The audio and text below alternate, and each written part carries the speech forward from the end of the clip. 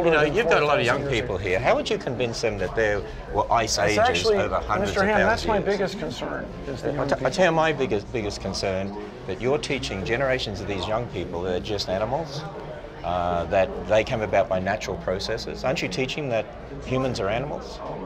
Are we animals? Yeah.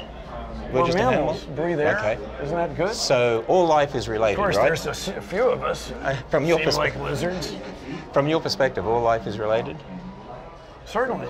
Even Yes, plants? We're related to plants? It's one of the fundamental discoveries in all of life Okay, science. so we're related to plants. Yes. So we're related to a banana. Yes.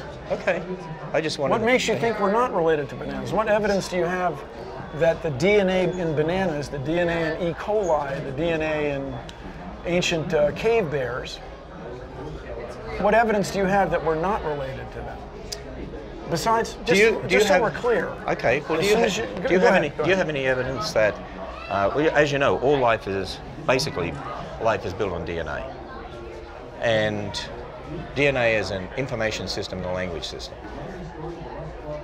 Um, so, do you have any evidence that matter produces a language system and matter produces information? I mean, there, there are billions, trillions of bits of information in living systems. Can you, can you testify to how information arose by natural processes?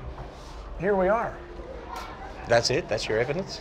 Well, we'll start with the evidence and work backwards. What I think you're asking is the why. Actually, you're not starting with evidence. You don't believe in God, right? Uh, that aside, here's what here's where we Okay, disagree. okay. Well, let me ask you this. No, Do hold- do hold you on a second. believe do you believe life came about by natural processes? Yes. Okay, so you've got that belief. So Yes. you don't start with evidence, you start with the belief. No, I claim I started with evidence to reach that belief. Oh no,